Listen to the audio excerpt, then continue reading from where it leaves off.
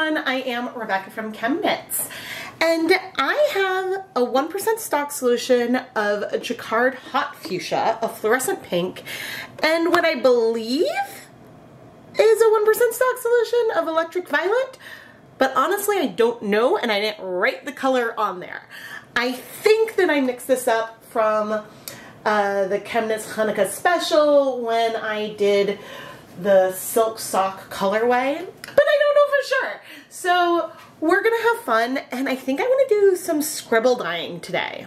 Scribble dyeing is a technique where I have a more concentrated dye and add it to some immersion yarn. Sometimes it could be very low immersion, sometimes more water, and then we just let the colors layer and see what happens and what we think. Sometimes I do this with a lot more than two colors, but I'm curious what I'll think about it with two. And if I need to, I'll go and raid my other dye stocks. Now, the yarn for today has been pre-soaking for over a day. I have one skein of Knit Pick Stroll fingering weight yarn. This yarn is 75% superwash merino wool, 25% nylon.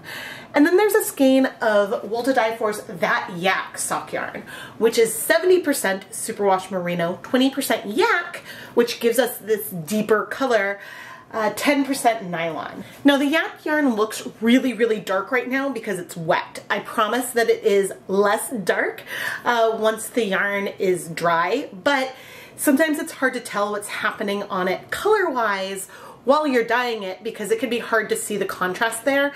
The contrast with the colors is more apparent once the yarn is done and dry. Um, but anyway, now let's go and uh, set up our dye bath. We're using the hot plate today.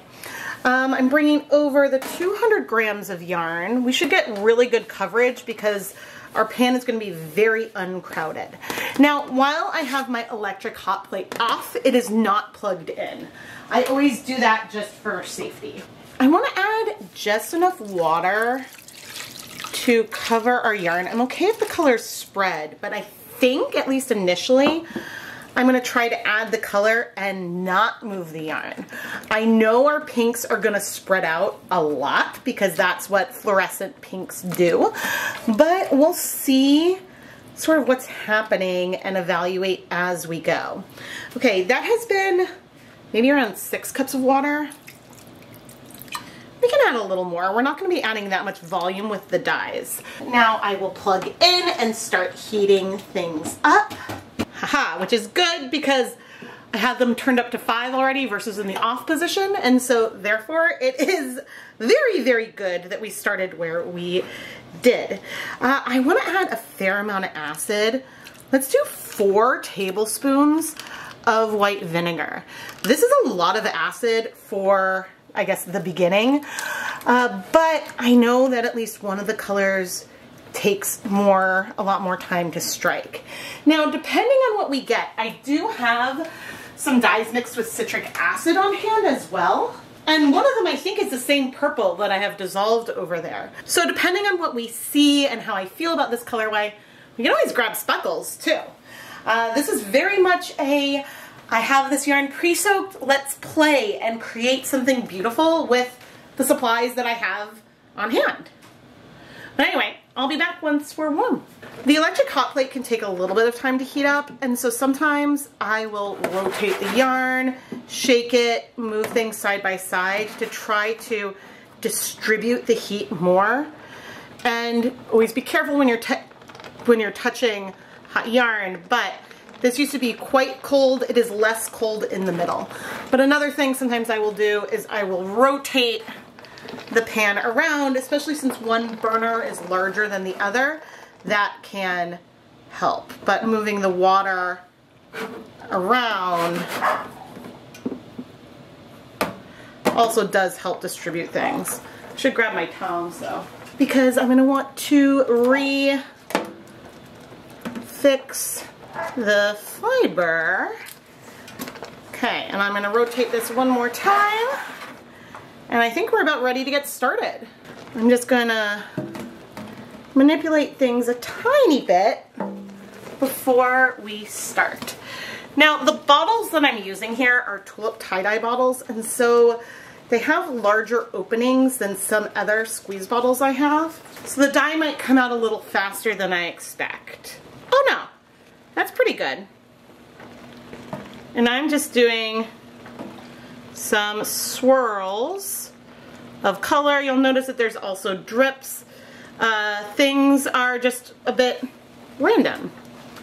And holding this over, I do my work surface protected with a shower curtain, but I want to still try to avoid making a mess. Now, depending on how we feel, we might end up moving things around on the surface, but for now, It's okay for the way these colors can overlap or not. And I can do some more curly cues at points as well. Uh, but the thing I like, although I'm noticing these are all sort of parallel to one another, so I might want to change the way that I'm adding these colors and do other types of shapes.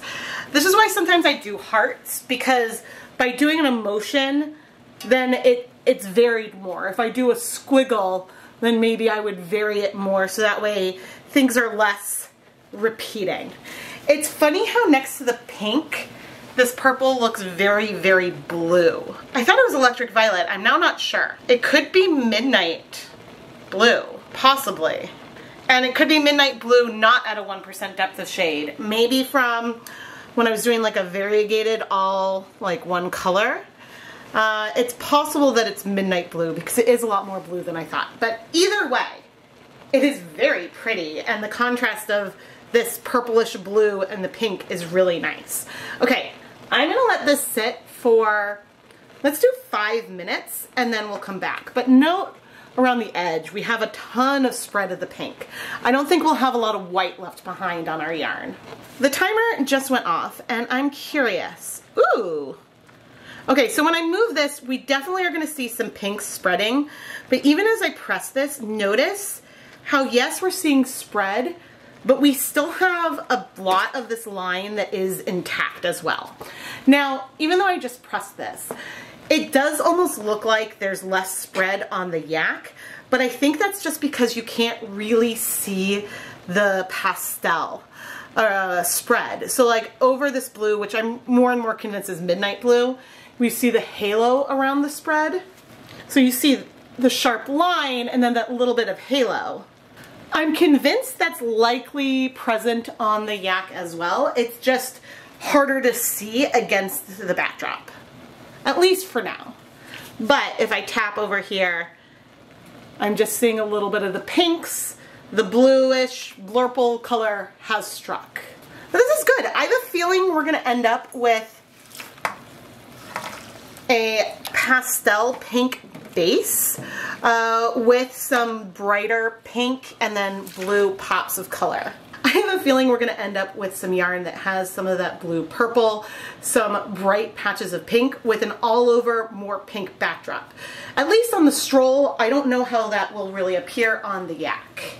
Because on the yak, I mean the spread here is pinkish, but we do have that brown in there to consider. And so this time I'm trying to go way more random with the color placement.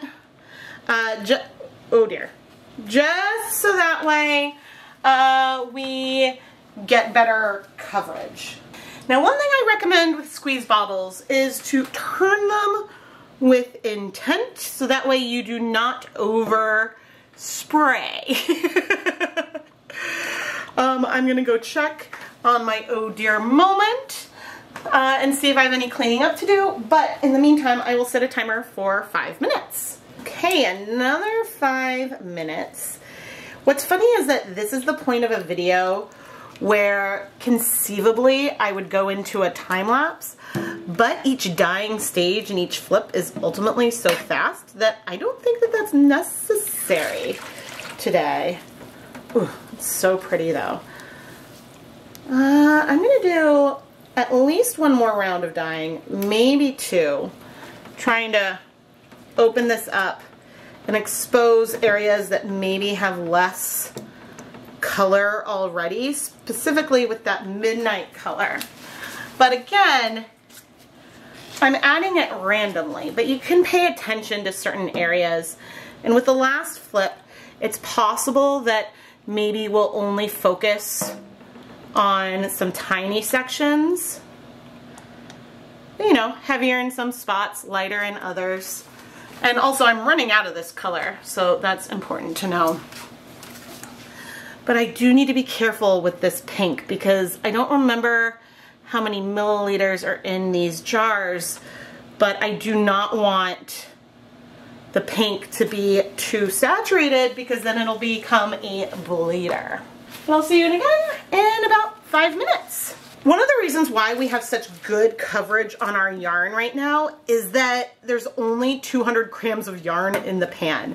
If I had had 300 grams of yarn in the pan, which we almost did, uh, but I used the other yarn for something else. If we had had 300 grams of yarn in here, then uh, we probably would have definitely needed more flips. Now, I do think I'm gonna add a tiny bit more dye, but really, it's pretty good. And I think after this, I'm gonna call it and let it be done. But we will add a little more pink. Hopefully I don't regret this when it's time to wash the yarn. But you see, I added, oh dear, a lot less dye in this round than I had done on the previous ones. But anyway, I'm now gonna heat this for 30 minutes and we'll see what's gonna happen around the edges after that time. Uh, actually, I changed my mind. We're gonna heat things for five minutes and then we're gonna add more water. Uh, and then we'll heat for 30 minutes. So I'll see you in five. I've got four cups of water and six tablespoons of white vinegar because that's how much vinegar I had measured out. Sometimes there is a reason why I choose the proportions I do, and other times it is really just because that's what's convenient and what is there. But anyway, uh, I am going to turn the heat back up until we get to a little bit of a nice simmer again. Then we're gonna heat this for 30 minutes. Now, it's okay if things aren't hot for the full 30 minutes because when the timer goes off, I have a feeling I'm gonna let the yarn cool off here in the pan completely. And so then it'll get more heat during that time as well. So setting the timer for 30 minutes and I'll see you in a bit. It has been 30 minutes and there's actually not that much color left in the water. I am still going to turn things off and leave the yarn here to cool. But when I turn that off, I'm also unplugging the hot plate and I will remove this from the heat so that way it can cool off completely a little bit faster than it would if it stayed with the hot plate um, but I always check the edges before I lift it up. Um, and so once this is cool, then we can go ahead and wash it. Our yarn has cooled off considerably and I'm getting ready to wash it. Okay, there is still some pink in the dye bath, which is not a surprise given uh, the hot fuchsia that was in it. and so therefore we might see some pink come off in the water, at least initially. Uh, and maybe some more, and that's okay. Let's add some dish soap. Hopefully, I didn't overdo it with the amount of pink that I was using. Yep, we are seeing some bleeding. But again, there was some pink left in the water. So that is not that bad. I am squeezing out as much of the liquid as I can. And we're gonna do another fill of the basin. And see, already it is less. And I can tell you, I'm feeling the pink in the, the yak. Okay, maybe it's not a ton less, but oh my gosh, is the tap water cold? Oh, it's that time of year in New England. Oh, where I have to add a little bit of hot water into our rinse because otherwise my hands get so cold. All right, I added a little more soap. I'm gonna fill this up again. Okay, oh, it's more comfortable. Still cold, but more comfortable. All right, I'm still seeing a little bit of some bleeding. All things considered, it's not bad, but I'm gonna keep rinsing this for a bit off camera and I'll check back in. Okay, couple more rinses and we're looking great. So I'm gonna go ahead and put our yarn through my spin dryer, hang it up to dry, and then we can take a look at the finished dry yarn. The color of the yarn base you pick or the color of the fibers that you're dyeing can make a huge difference in the final finished colorway. And I know this should be seem obvious, but we did have two different types of bare yarn here. One of them with the yak just happened to start out as a darker color.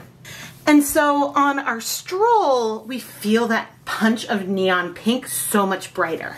There's absolutely no question neon pink here on our yak yarn, but everything feels overall a little bit more muted over here, even though we do have the same colorway.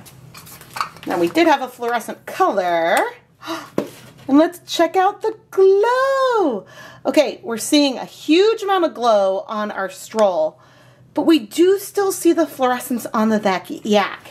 It's just not quite as vibrant or bright mainly because it's a darker color and so that's just the way that that happens. But both of them, again, are absolutely beautiful. Now here's a question. Would you call this yarn speckled or variegated? I'm leaning towards the latter because these bluer splotches are much more splotched.